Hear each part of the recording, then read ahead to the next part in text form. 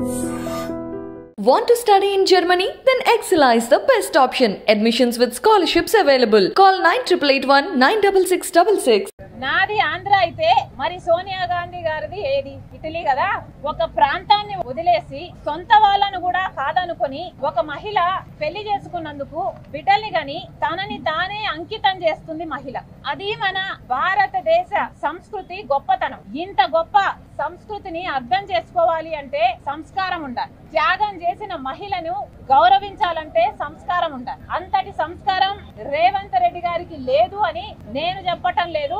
ఆయనంతకు ఆయనే నిరూపించుకోవడం జరిగింది. ఏమన్నాడు రేవంత్ రెడ్డి గారు? నాకు చీరా సారా పెడతాడట.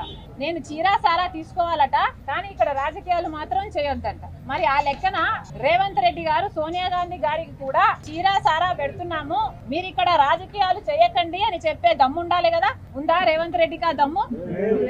ముమ్మాటికి రేవంత్ రెడ్డి గారు ఈ రోజు ఇన్సెక్యూర్గా ఫీల్ అవుతుంది. తనకు ఇన్సెక్యూరిటీ ఉంది అని చెప్పకనే చెప్తున్నాడు రేవంత్ రెడ్డి గారు. కేవలం నా వల్ల తన ఉనికి ఎక్కడ పోతుందో అని తన ఉనికిని కాపాడుకోవడం కోసం మాత్రమే మాట్లాడుతున్న మాటలు.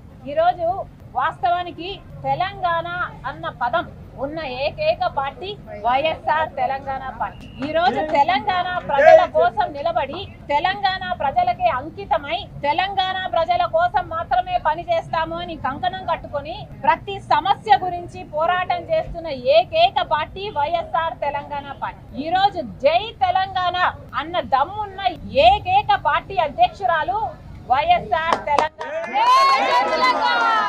జై తెలంగాణ ఏ వేదిక మీద అనే దమ్ము అటు కేసీఆర్ గాని అటు సోనియా గాంధీ గారికి గాని అటు మోడీ గారికి కానీ ఈ రోజు లేదు.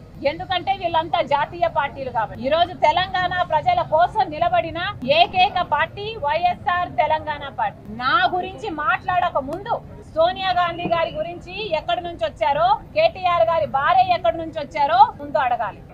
రేవంత్ రెడ్డి గారి అల్లుడు గారు కూడా ఆంధ్ర మరి రేవంత్ రెడ్డి గారు ముందు అక్కడ తెచ్చుకోవాలి